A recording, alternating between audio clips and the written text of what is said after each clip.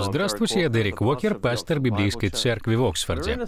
Мы продолжаем серию программ под названием «Крещение во Святой Дух». Ее цель — дать вам более глубокое понимание крещения в Дух, чтобы вы смогли его принять, а также действовать в силе Святого Духа. Мы уже говорили, что крещение во Святой Дух — это когда Дух сходит на нас, обрекая нас своей силой для того, чтобы говорить о Боге и служить. Служение Святого Духа в Новом Завете состоит из двух частей. Во-первых, во время спасения мы получаем Духа Святого внутрь для нашего личного благословения, а личной святости отношения с Богом. Во-вторых, во время крещения во Святой Дух, Дух сходит на нас для совершения служения. Мы получаем силу, чтобы исполнять волю Божию на земле и активировать наши дары для служения. А вот что такое крещение в Дух. На этом мы и сфокусируемся в этой серии в Ветхом Завете двухстороннее действие Святого Духа было неоднократно предсказано пророками. И называлось оно «обещанное от Отца». Даже Иисус упоминал об этом несколько раз. «Я же пошлю вам обещанное моим Отцом». Он велел им ждать обещанного Отцом. Обещанное от Отца состояло из двух частей. Дух внутри всех верующих через новое рождение, которое не было доступно до смерти и воскресения Христа. Когда мы принимаем Христа, Дух входит в нас и делает нас новым творением. Теперь Дух обитает внутри нас. Сейчас это доступно всем верующим. А после спасения нам доступна еще одна вещь, которая называется крещение во Святой Дух. Его суть в наделении силой для служения. О том, что мы будем иметь Дух внутри, говорил еще и Езекииль. «Дух новый дам вам». Это новое рождение вложу внутрь вас Дух мой». А Иаиль говорил о том, что Бог изольет свой Дух на всякую плоть, что поведет к проявлению духовных даров. Итак, согласно обещанию Отца, в Новом Завете Дух внутри доступен всем верующим, а также Дух может еще исходить на всех верующих. Это было предсказано и обещано Богом. Это обещание о Духе исполнилось через смерть и воскресение Христа. В послании к Галатам, 3 главе 13 стихе, сказано, Христос искупил нас от клятвы закона, сделавшись за нас клятвою, ибо написано, проклят всяк висящий на древе дабы благословение Авраамова через Христа Иисуса распространилось на язычников, чтобы нам получить обещанного Духа верою. Как видите, Бог обещал нам Духа Святого, а Дух Святой принес нам всевозможные благословения. Благословение Авраама тоже состоит из двух частей. Бог сказал, «Я благословлю тебя и сделаю тебя благословением». Благословение для нас самих — это Дух внутри нас, а благословением для других мы становимся, когда Дух на нас. И все это мы получаем верой. Верой мы получаем спасение, крещение во Христа и благословение Духа для нашей жизни. Также верой мы получаем крещение в Дух, когда Дух Святой на нас. Оба эти проявления очень важны. Первое важно для нашего собственного спасения, а второе — для того, чтобы мы были инструментами в Божьих руках и благословением для других — рассказывая Евангелие и выполняя Божью работу. Иисус описал обещанное от Отца как крещение во Святой Дух и сказал, что оно крайне важно. Не пытайтесь ничего делать, пока не получите силу Святого Духа. Многие люди не принимают крещение во Святой Дух, потому что считают, что получили от Духа Святого все, что нужно во время спасения. Поэтому они не стремятся к получению каких-либо других проявлений Духа. Но это большая ошибка. Даже в жизни Иисуса мы видим двухэтапное действие Духа. Он был зачат от Святого Духа, рожден от Духа и имел Дух Божий внутри всю свою жизнь. Благодаря этому он прожил совершенную жизнь перед Богом. И только в 30 лет после водного крещения Дух сошел на него, дав ему силу для служения. Мы уже говорили о том, что Дух Святой сошел на него и пребывал на нем. Благодаря этому он мог совершать чудеса, исцеления и проповедовать Евангелие. Иоанн говорил, что тот, на ком он видел Духа Божьего, будет передавать того же Духа другим. Именно он будет крестить во Святой Дух. С 30 лет Иисус, который уже имел Духа Божьего внутри, имел Духа еще и на себе для служения. Именно тогда он и начал свое служение. Писание говорит, что Иисус будет также крестить нас в Святой Дух. Это означает, что вам нужно прийти к Иисусу, чтобы получить крещение во Святой Дух. Крещение Иисуса в Дух — это пример для нас. Единственная разница в том, что Иисус получил Духа Божьего без меры. То есть Он имеет всю полноту Духа. Мы же не в силах принять всю полноту Духа. Поэтому Он дает нам меру Духа в соответствии с нашими дарами и служением. Он дает нам Духа Святого, и вместе с Ним мы имеем полноту Духа. Но мы не можем иметь ее индивидуально. Итак, тот факт, что крещение Иисуса в Дух Святой — это пример для нас, говорит нам о том, что крещение в Дух — это совершенно другой опыт, идущий следом за рождением свыше и принятием Духа внутрь. Во-вторых, это означает, что Его Дух сойдет на нас и облечет нас силой. Также мы подметили интересную взаимосвязь между водным крещением и крещением в дух. Это видно из того, что Бог все организовал так, чтобы Иисус крестился в дух сразу после своего водного крещения. Вернее, как только он вышел из воды, так сразу был крещен во Святой Дух. Так Бог указывает нам на тесную взаимосвязь между водным крещением и крещением в Дух. Эта связь видна в нескольких местах Писания. Во-первых, в Евангелии от Матфея, 3 главе, 11 стихе сказано, «Я крещу вас водой, тут должно стоять в воде, в знак покаяния. Но после меня придет тот, кто могущественнее меня. Я даже недостоин нести его сандалии. Он будет крестить вас Святым Духом и огнем. И снова неверный перевод. Должно быть написано, Он будет крестить вас во Святой Дух и в огонь. То есть э, водное крещение — это прообраз крещения в Дух. К сожалению, полное значение было утрачено при многочисленных переводах. Начиная с перевода короля Иакова, сказано о крещении водой и духом, но в оригинале в обоих обоих случаях стоит греческий предлог «н», который зачастую означает в, указывая на среду, в которой проходило крещение. Иными словами, во время водного крещения вы погружаетесь в воду, а во время крещения в Дух вы погружаетесь в Дух. То есть это среда, в которую мы погружаемся и в которой мы остаемся. Не забывайте, что слово «крещение» означает «погружение». Поэтому, чтобы описать крещение, нужно уточнить среду, в которую погружается объект. В первом случае крестителем был Иоанн, и он крестил людей в воде. То есть вода — это среда, в которую их погружали. Так почему же в наших переводах сказано «водой», а не «в воде»? Это позволяет истолковать крещение как крапление водой. То есть можно обойтись несколькими каплями воды. Почему значение так изменилось? Потому что на то время церковь прекратила крестить путем полного погружения и начала просто кропить водой.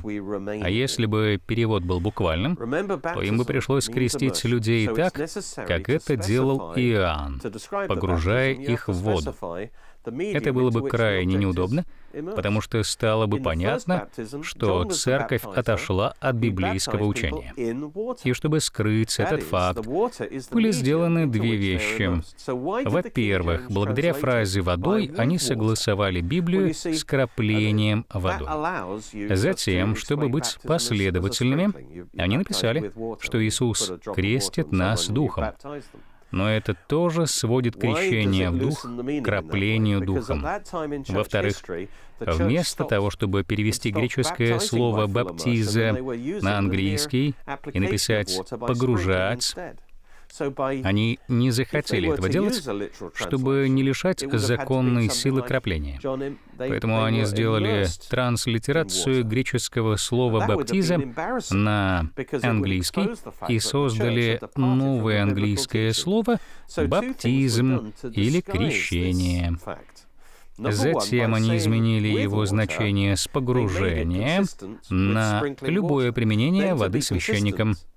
Э, Таким образом, сейчас многие люди не в курсе, что слово «баптизм» или «крещение» означает полное погружение. Поэтому этот отрывок следует переводить как «крещение в воде», а не водой, и «крещение в дух» или «в духе», а не «духом». Поэтому буквальный перевод этого местописания должен выглядеть так. «Я крещу вас в воде, покаяние. Но идущий за мною сильнее меня. Он будет крестить вас Духом Святым. То же самое касается Евангелия от Марка, первой главы, 8 стиха. Uh, Напомню, что перед этим мы рассмотрели с вами отрывок uh, из третьей главы Евангелия от Матфея. Это был одиннадцатый стих. Возвращаясь же к Евангелию от Марка, мы видим вот что. «Я крестил вас в воде, Он будет крестить вас в Духе Святом». Далее, Евангелие от Луки, 3 глава, 16 стих. «Я крещу вас в воде, но...» Он будет крестить вас в Духе Святом и в огне. Затем сам Иисус говорит в Деяниях, первой главе, пятом стихе, «Иоанн крестил в воде, а вы через несколько дней после сего будете крещены в Дух Святой». В каждом из этих случаев крещение в Дух сравнивается с водным крещением.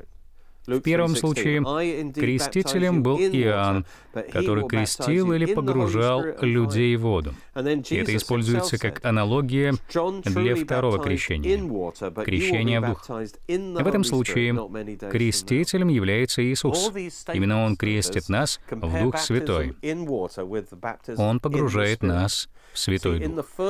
Все эти места Писания указывают на тесную связь между водным крещением и крещением в Дух, чтобы мы лучше поняли то, что будет дальше. Крещение в воде телесное, но с его помощью Бог пытается объяснить крещение в Дух, которое будет позже и могущественнее. Так мы можем понять духовное — через телесное. Эта тесная связь между водным крещением и крещением в дух учит нас тому, что Иоанн погружал людей в воду, и они были покрыты водой вода была на них. А в крещении в Дух Иисус погружает людей в Святой Дух, чтобы они покрылись и облеклись в Дух. Так Дух остается на нас. Он не просто крапит нас Духом, а погружает нас в Дух, облачая нас Его силой. Во-вторых, оба крещения являются внешним проявлением и демонстрацией внутренней реальности нашего крещения во Христа, когда мы приняли Духа внутрь себя. В случае с водным крещением мы послушно демонстрируем то, что произошло внутри нас, когда мы крестились во Христа.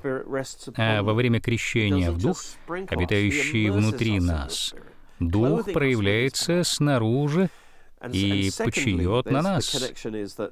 Так, то, что внутри, проявляется снаружи. Это двойное действие нашего крещения во Христа, которая доступна всем верующим. Мы увидим их тесную взаимосвязь, а также их связь с крещением во Христа, когда посмотрим на примеры из деяний апостолов. В каждом из этих случаев мы видим, что в начале происходит крещение во Христа, то есть спасение. А вскоре после этого люди принимали два других крещения.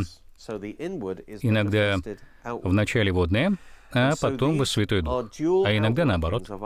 Но в каждом случае их инициация не была завершена, пока они не получили все три крещения.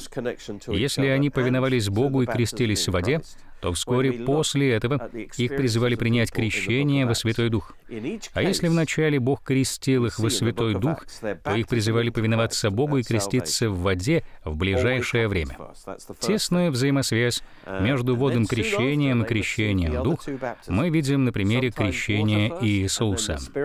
Он получил крещение в Дух Святой сразу же после крещения в воде.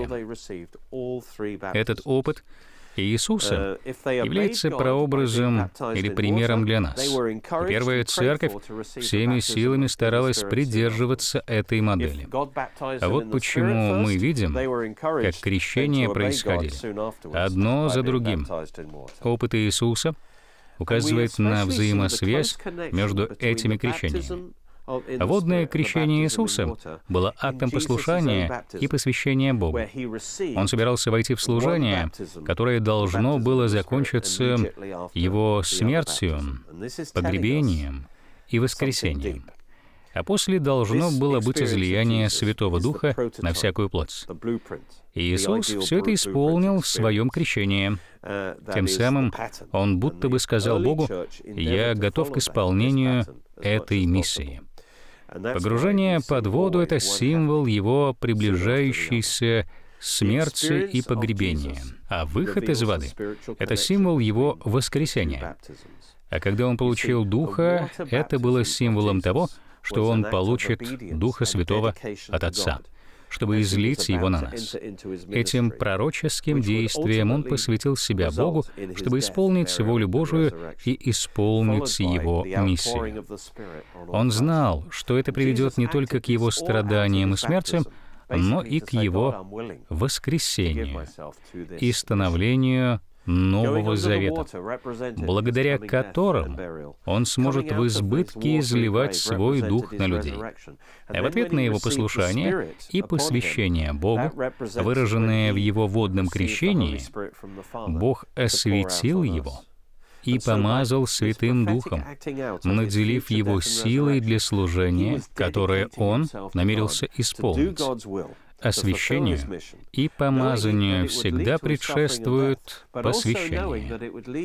Зачем Богу помазывать нас для проповеди и исполнения Его воли, если мы не подчиняемся Ему и не хотим выполнять Его волю? Вот как Бог работает в нашей жизни. Вначале Бог открывает нам свою волю, Затем мы реагируем на это, подчиняя нашу волю Его воле через посвящение. А потом Бог наделяет нас силой через Духа Святого для исполнения Его воли. Прекрасный тому пример — это отрывок из Евангелия от Луки, когда ангел сказал Марии, что она родит сына от силы Духа. Это первая глава, 35 стих. Ангел ответил, «Святой Дух сойдет на тебя, и тебя осенит сила Всевышнего. Поэтому ребенок, который родится у тебя, будет свят, он будет зваться Сыном Бога. Бог решил использовать для этого Марию, но ему нужно сотрудничество Марии. И Мария отреагировала на это откровением, подчинившись и посвятив себя Божьей воле. «Я готова служить Господу». Так ответила Мария, «Пусть все произойдет со мной, так, как ты сказал». Итак, вначале она посвятила себя Богу, а потом в ответ на ее посвящение Дух Божий сошел на нее, и в ее утробе был зачат Иисус. Это показывает, что вначале должно быть посвящение — а потом будет и помазание. И мы видим этот принцип в крещении Иисуса. Пример его крещения учит нас тому, что его крещение в воде было его посвящением, а потом Бог отреагировал на это своим помазанием, и Дух Божий сошел на него. Это говорит нам о том, что наше крещение в воде — это акт послушания, когда мы официально отдаем себя Богу и публично посвящаем себя следованию за Христом, как Его ученики, верно исполняя Его волю. Это хорошо видно из Евангелия от Матфея, 28 глава, 18 стих. Иисус сказал, «Мне дана вся власть на небе и на земле, поэтому пойдите ко всем народам и сделайте их моими учениками, крестите их во имя Отца, Сына и Святого Духа, и учите их исполнять все, что я вам повелел». Это доказывает, что крещение — это часть жизни ученика Иисуса. Это первый акт послушания со стороны ученика. Делайте учеников, крестя их. Ученик — это тот, кто посвятил себя следованию за Христом и исполнению Его воли. Поэтому каждый, кто крестится, должен принять Христа своим Господом и понять, что он ученик Христа а своим крещением он четко заявляет о своем посвящении Христу. То есть наше крещение в воде — это выражение нашего посвящения Богу и того, что мы готовы следовать за Ним даже до смерти. Любое крещение без соответствующего посвящения не имеет никакого смысла. Как и в случае с Иисусом, Именно наше посвящение Богу ставит нас в положение и дает нам право принять Его крещение в Дух, в ходе которого мы получаем силу для исполнения Его воли. Но прежде всего мы должны посвятить себя исполнению Его воли. И это посвящение делает нас пригодными для получения Его силы, для исполнения Его воли. Вот почему между крещением в воде и крещением в дух такая тесная связь. Первое — это наше послушание и посвящение. А второе — это реакция на это посвящение путем наделения нас силой Духа. А вот почему обычно крещение во Святой Дух — происходит вскоре после водного крещения. Если человек действительно посвятил себя Богу, показав это с помощью водного крещения, то нет никаких причин затягивать с получением крещения в Святой Дух. Конечно же, Бог не желает с этим затягивать, и в книге «Деяний апостолов», до того, как Рим начал учить на эту тему, мы видим лишь небольшой перерыв между спасением и крещением в воде и в Духе Святом. С тех пор Бог не изменился — если мы не видим того же в наше время, то все из-за uh, неверия, вызванного неправильным учением, проникнувшим в церковь. Я знаю как минимум три таких учения. Во-первых, проповедуется неверное Евангелие, которое представляет Иисуса только как нашего Спасителя, но не Господа. Поэтому, приходя к Богу, люди неохотно подчиняются Его господству. А это может значить, что человек либо не спасен, либо спасен, но уровень его посвященности как ученика очень низкий, а это приводит к нежеланию повиноваться Богу и креститься в воде, что в свою очередь не делает его пригодным для крещения во Святой Дух. Второе лжеучение проникло в церковь уже давно. Оно состоит в том, что крещение верующих в воде было заменено краплением водой младенцев. Это привело к распространенному неповиновению Библии. Христос четко и ясно велел, чтобы мы погружались в воду в начале нашей христианской жизни. А это вредит ученичеству, а также вредит тому, как Бог обычно ведет людей к крещению во Святой Дух, то есть через водное крещение. А суть третьего ложного учения в том, что отрицается существование крещения во Святой Дух как отдельного переживания после принятия спасения. Из-за этого люди не ожидают получить крещение во Святой Дух. Все примеры из деяний апостолов, которые мы рассматривали сегодня, полностью игнорируются или объясняются как особые случаи, которые произошли в прошлом и больше не актуальны. Люди, попавшие под это учение, считают, что нет никакого крещения в Дух, потому что они уже и так получили от Духа Святого все, что могли. Они действительно имеют Духа внутри, благодаря рождению свыше. Но вывод о том, что от Духа Божьего больше нечего принимать, неверен. Поэтому люди, пребывающие в этом учении, не верят в крещение в Святой Дух, и это мешает им принять его.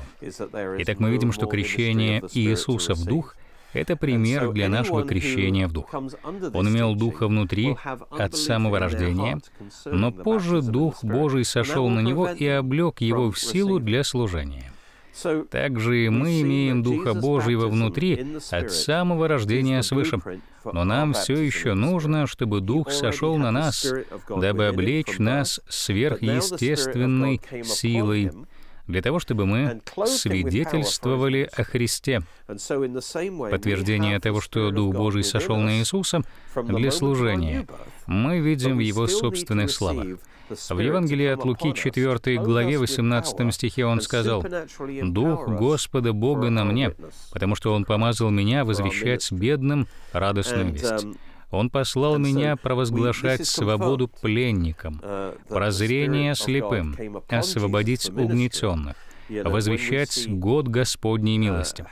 Следовательно, цель крещения во Святой Дух для нас в том, чтобы мы получили силу и могли рассказывать Евангелие, а также нести людям исцеление и освобождение, чтобы они увидели истину об Иисусе.